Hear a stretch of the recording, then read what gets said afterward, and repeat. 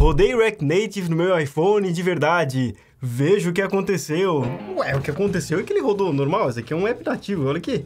60 quadros por segundo, praticamente um PC Master Race isso daqui. Mas eu já testo ele aqui com vocês, porque antes eu quero passar sobre a aula de Real Time na Web, que é a última aula dessa semana. E uma coisa certa, tá? Ganhar esse tipo de conhecimento vai te colocar num outro patamar de desenvolvedor ou desenvolvedora. Você colocar no seu portfólio ou currículo que sabe mexer com tempo real, principalmente integrando React com React Native e com Node.js, ixi, vai deixar muita gente para trás porque chama muita atenção. Fora que é super empolgante porque as coisas começam a mexer em tempo real. Então, primeiro, é muito importante a gente entender que o que a gente fez até agora é o comportamento bem peculiar de HTTP simples, né, que é o request e o response. Ou seja, o client, por exemplo, pode ser o nosso front em React, ele quer uma lista de desenvolvedores para conseguir trabalhar na interface, correto? Então ele tem que fazer esse pedido para algum lugar e esse pedido se chama request e ele geralmente vai fazer um request para um servidor que tenha dados, o nosso back-end. E se tudo der certo, esse server responde com os dados, ou seja, ele faz um response com a lista dos desenvolvedores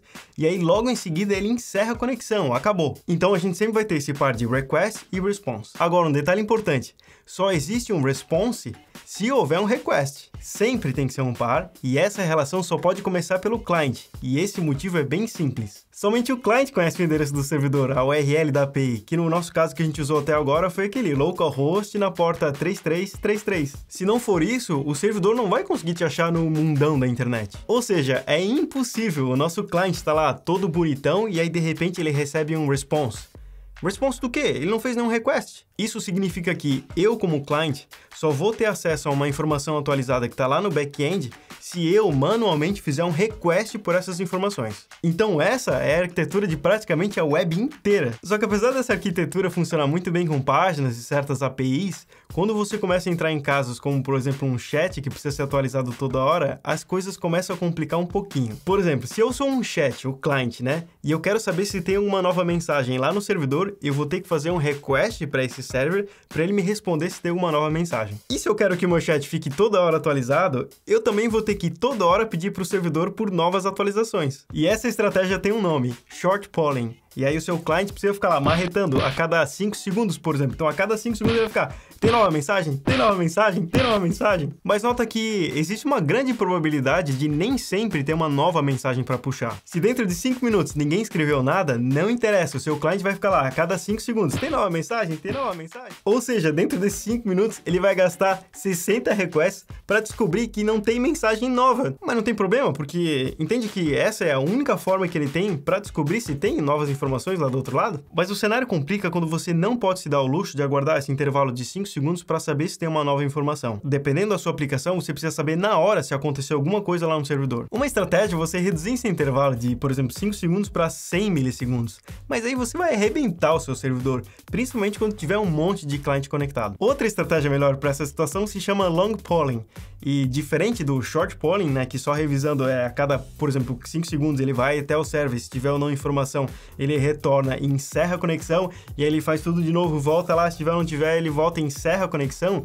O long polling é diferente. Quando o cliente faz uma request para um server que usa long polling, essa request vai ficar presa. O servidor vai ficar segurando ela até ter uma nova informação. E aí, quando tiver, ele manda para o cliente e aí fecha a conexão. E aí, logo em seguida, o cliente já abre uma nova conexão com o server, o server segura essa conexão até ter uma nova informação, e aí, quando tiver, ele libera de novo. E aí, com isso, você consegue um tempo de resposta muito rápido. Só que tem um trade-off de memória aí, porque você vai ter que ficar segurando uma request HTTP de vários clientes ao mesmo tempo, e aí, mesmo quando tem atualização, essa troca de fechar a conexão e reabrir uma outra conexão, ela pode ser um pouco demorada. Aí já começa a fugir um pouco do escopo desse vídeo, mas para consertar essa demora de abrir e fechar conexões, a turma foi lá e inventou um negócio chamado Comet. É muito legal, mas começa a ficar complicado para implementar. E é aí que a gente chega num ponto muito interessante sobre a minha história como programador lá, o meu passado. Numa época em que eu não gostava de JavaScript, um rapaz chamado Guilherme Rauch inventou um negócio chamado Socket.io para uma plataforma que estava surgindo na época chamada Node.js. E esse tal de Socket.io abstrai tudo que a gente começou antes de uma forma genial. Ele pegou todas as APIs de conexão, todas as coisas que podem acontecer de errado e juntou tudo num pacotaço chamado Socket.io. é como se fosse o jQuery das conexões. Esse módulo não somente vai abstrair tudo que a gente conversou sobre HTTP, como também ele vai inserir um novo protocolo chamado WebSocket. Esse negócio consegue transportar informação em tempo real de uma forma absurda, independente da ponta. Então sim, ele consegue fazer o server avisar toda uma série de clientes tipo, ei turma, tem uma nova mensagem, e aí todo mundo recebe essa mensagem em tempo real. Se vocês acham que eu me empolguei com as coisas das últimas aulas, vocês tinham que ver eu na época quando eu descobri o Socket.io. Foi ele o responsável por eu me apaixonar por Node.js e JavaScript. E para minha surpresa, é exatamente o mesmo módulo que o Diego usou para essa última aula. Ele começa instalando no server o Socket.io, então, inicialmente, seu servidor estava expondo somente uma API em HTTP pela porta 3333. E agora você precisa fazer esse mesmo servidor também expor o protocolo WebSocket com a sua porta padrão, e é exatamente isso que Diego faz logo nos primeiros minutos do vídeo. Então a gente instalou o Socket.io versão server no nosso servidor, e agora a gente precisa instalar a versão client nos nossos clients, e aí toda essa turma vai conseguir se comunicar. O Diego começa a fazer isso pelo nosso client em React e instala uma dependência chamada Socket.io Client e em seguida vai até a página que lista os desenvolvedores e faz um rápido código para mostrar como é simples o cliente se conectar por socket com o server. É literalmente uma linha de Socket.io e duas linhas de React. E aí, a partir disso, você tem uma conexão full duplex. Ou seja, as duas pontas podem ficar trocando informações simultaneamente. Não é que nem uma conexão half duplex, como por exemplo um walkie-talkie, onde apesar que as duas pontas elas podem falar, uma tem que parar de falar para outra poder começar a falar. Entende a quantidade de coisa avançada que dá para fazer com uma conexão full duplex? O próximo passo agora é anotar o ID de conexão de todos os clientes que se conectarem com o nosso server, o ID do socket, e correlacionar esse ID com o ID do GitHub. Aí a partir disso, caso aconteça um match entre dois usuários em algum momento, a gente vai conseguir empurrar essa informação de volta para esses dois usuários simultaneamente. E agora fica a cargo do cliente pegar essa informação que ele recebeu do server e usar como quiser. Então, antes de fazer a lógica final, o Diego começa por estilizar essa nova mensagem que vai aparecer quando der o match.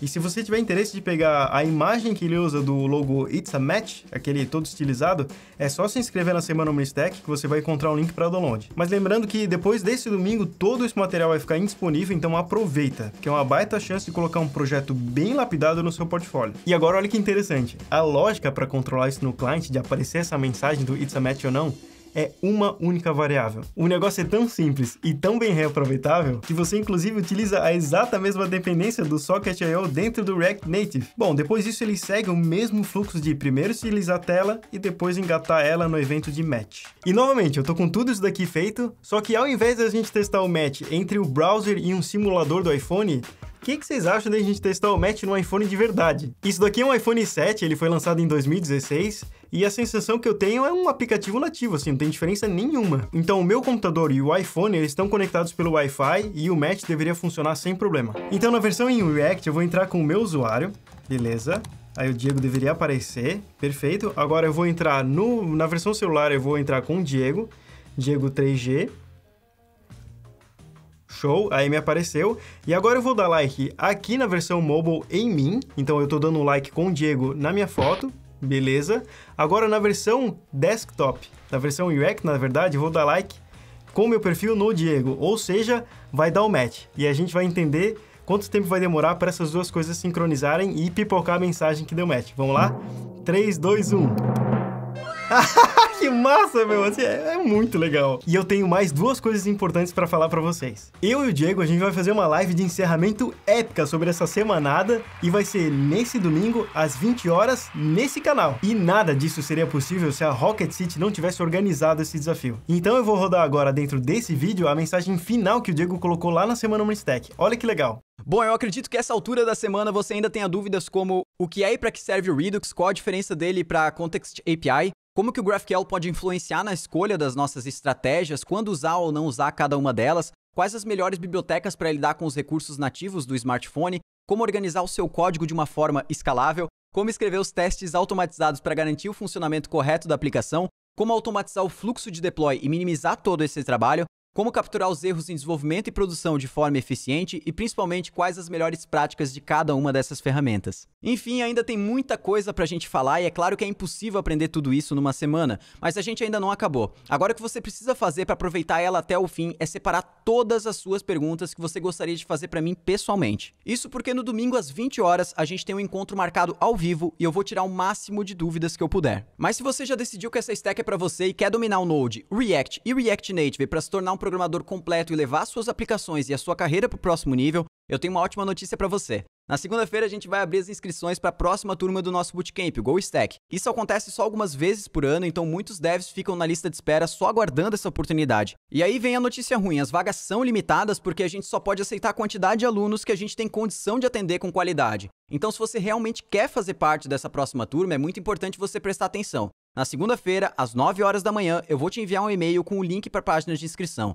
Nessa página eu vou deixar um vídeo com todos os detalhes do Bootcamp, incluindo conteúdo, aplicações que a gente vai desenvolver, os benefícios, todos os bônus especiais que eu preparei para você, a garantia e as condições de pagamento e também o valor de investimento. Mas se você está muito curioso e não quer esperar até lá, eu posso adiantar algumas coisas. O Bootcamp Go Stack é um treinamento 100% online, completo e intensivo, totalmente focado no ecossistema da Stack Node, React e React Native. No Go Stack a gente vai a fundo para aprender do zero ao deploy tudo o que você precisa saber para ficar pronto para o mercado de trabalho do jeito certo e no menor tempo possível. Então, durante as próximas semanas, você vai desenvolver junto comigo apps nativos multiplataforma com React Native, aplicações web dinâmicas com React JS e APIs robustas utilizando Node. Tudo isso para aprender na prática cada um dos conceitos e ferramentas essenciais para dominar todo o ecossistema ao redor dessa stack. E mais do que isso, para ganhar a segurança que você precisa para encarar os desafios do mundo real. Os conteúdos do GoStack são gravados em vídeo, incluindo todas as aulas especiais ao vivo, para você assistir no momento que for melhor para você. E os módulos são liberados semana a semana de acordo com o nosso método e cronograma de estudos. Durante essa jornada, você vai receber desafios para te ajudar a se manter motivado e focado ao longo do treinamento, e vai colocar a mão na massa para ter certeza que está assimilando todo o conteúdo. E como bônus, você vai ter acesso ao grupo exclusivo de alunos, contando não só comigo e com meu time, mas com milhares de outros devs que já passaram pelos mesmos desafios, além da turma que vai estar junto com você nessa jornada. Isso vai acelerar ainda mais sua evolução e vai te dar toda a segurança ao longo do caminho, além de fortalecer o seu networking e, quem sabe, abrir muitas portas. E agora vem a melhor parte: você vai ter acesso ao conteúdo do Bootcamp por dois anos, e como bônus ainda vai receber todas as atualizações que forem incluídas nas turmas do GoStack durante esse período, além de poder contar com o nosso suporte sempre que precisar. Mas se você ainda tem dúvidas que o GoStack é para você, não precisa se preocupar. Você tem 30 dias de garantia incondicional a partir da sua inscrição. Ou seja, se nesse período por qualquer motivo você achar que o GoStack não é para você, nem precisa me dizer o motivo, só mandar um e-mail pedindo reembolso que eu devolvo todo o seu dinheiro sem perguntar nada e sem ficar chateado. Simples assim. Resumindo, o risco é todo meu. Então agora, se você já tomou a sua decisão e realmente quer fazer parte dessa turma, é muito importante que você esteja preparado para garantir a sua vaga na segunda-feira, assim que as inscrições abrirem. Muita gente já ficou chateada por ter ficado de fora e apesar da gente trabalhar duro para conseguir atender cada vez mais alunos, a gente tem um limite. E como a lista de espera é grande, a gente não pode garantir que as vagas vão durar muito tempo. Vale a pena se preparar para garantir o quanto antes. Então preste atenção, assim que as inscrições estiverem encerradas, não tem mais como entrar, sem exceção. Nesse caso, você vai ter que esperar uma próxima turma. Agora eu sei que você deve estar tá louco aí para saber quanto que vai custar, mas antes de eu falar de preço, eu preciso te explicar exatamente o que que você vai receber. Então, enquanto não chega segunda-feira, o que eu posso dizer é o seguinte: pense o quanto você cobraria por um freela dominando essas três tecnologias, por mais simples que seja a aplicação. 10 mil, 12 mil, 15 mil. Pense na quantidade de oportunidades que você vai ter e quanto vai poder ganhar todo mês com esse conhecimento. Mais do que isso, pense na sensação de dominar fundo essa stack e estar entre os melhores programadores do mercado. E faça as contas de quanto que vale para você um bootcamp que vai ajudar você a atingir esses objetivos no menor tempo possível. Resumindo, agora você tem três opções: continuar fazendo o que você sempre fez, se contentar com os resultados que sempre teve, seguir sozinho e provavelmente levar muito mais tempo do que gostaria para atingir os seus objetivos, ou pegar um atalho nesse bootcamp e mudar completamente o rumo da sua carreira nas próximas seis semanas. Só antes de encerrar, eu preciso dizer que foi incrível poder compartilhar um pouco do meu conhecimento com você durante essa semana e lembrar que, acima de tudo, a Rocket City é uma comunidade e você é mais do que bem-vindo para continuar com a gente no Discord,